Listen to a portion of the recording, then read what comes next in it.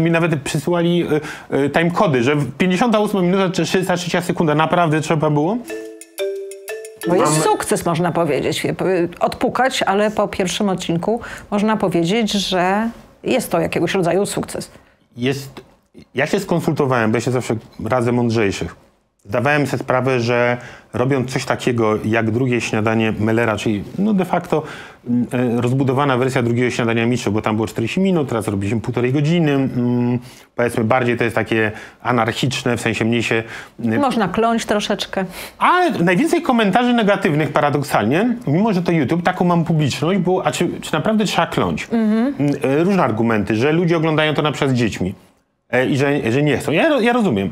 E, Po drugie, że okej, że tam w jednym wypadku to było uzasadnione, ale mi nawet przysyłali e, timecody, że w 58 minuta czy 63 sekunda naprawdę trzeba było.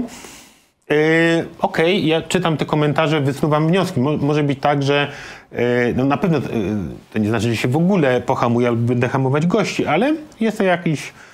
jakaś- Sygnał.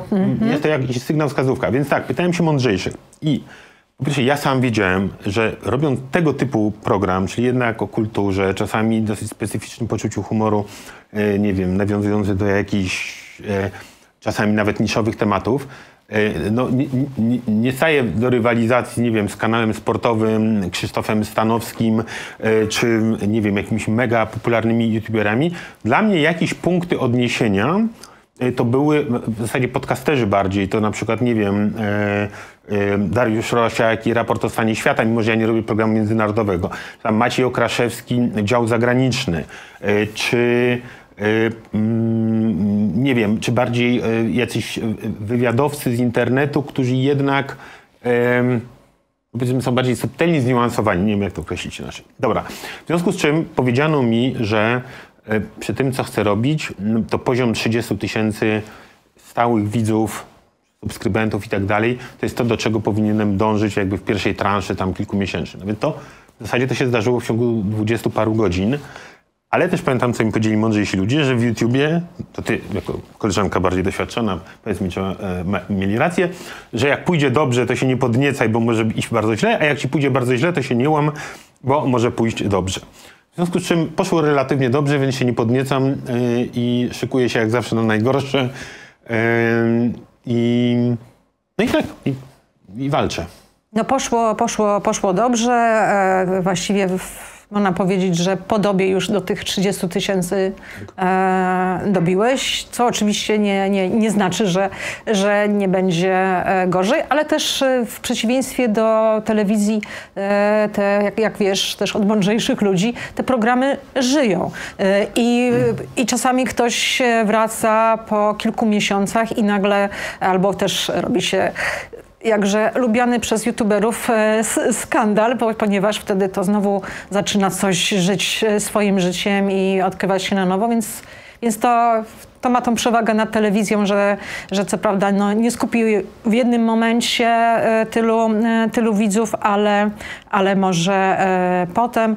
Nagrywasz to, rozumiem, jak gdzieś mówiłeś, w piątki, w związku z tym w soboty mogą być z rodziną, mogą być wyjazdy i też ten argument, który podawałeś, że odchodzisz z telewizji z tego względu, że jest to telewizja no, też informacyjna, która w związku z tym coś ważnego się dzieje, w związku z tym program spada albo nam wchodzą tutaj na żywo, musimy przerwać. Tak. A sama organizacja, przygotowanie tyle zabrało czasu, że właściwie może być to na nic To jest, wiesz, to było mega upierdliwe. To było, mm, to więcej, nikogo nie można winić tak naprawdę. No.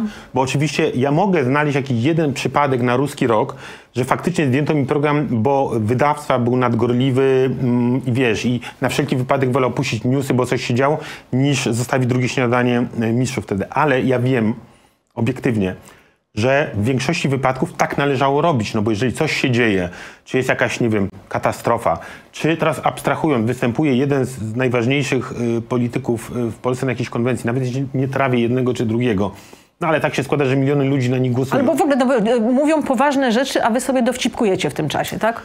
To wiesz to, nawet nie to, to jest, jest po prostu, no, telewizja informacyjna jest od tego, no. Mm, I teraz jest, wiesz, a poza tym to jeszcze są różne takie bardzo y, uwikłania, no, no w tym sensie, jeżeli na przykład raz pokazali Tuska na żywo, a nie pokażą Kaczyńskiego, to zaraz się PiS wkurzy, że nie pokazują y, y, Kaczyńskiego. I na odwrót, co pokazaliście Kacz, Kaczora, a nie pokazujecie Donalda i tak dalej. Więc y, tu jest, y, więc z jednej strony wiadomo, że większość widzów TVN24 ma sympatie opozycyjne, e, ale tym bardziej stacja się pilnuje, żeby władza nie oskarżała, że y, preferujecie opozycję i tak dalej. Więc ja to wszystko rozumiem. Natomiast z punktu widzenia mnie prowadzącego, a jest jeszcze jedna ważna rzecz.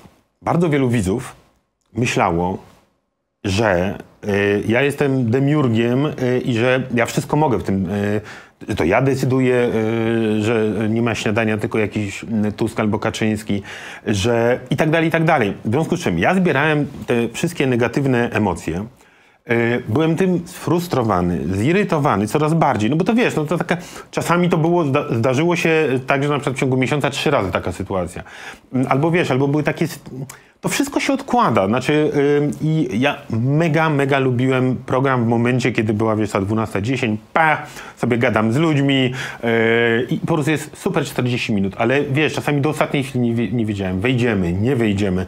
Albo miałem cudowny skład wymyślony, znaczy z mojej perspektywy cudowny i się dowiadywałem w piątek wieczorem albo w sobotę rano, że sorry, konwencja takiej i takiej partii. I to było tak i mamy teraz i,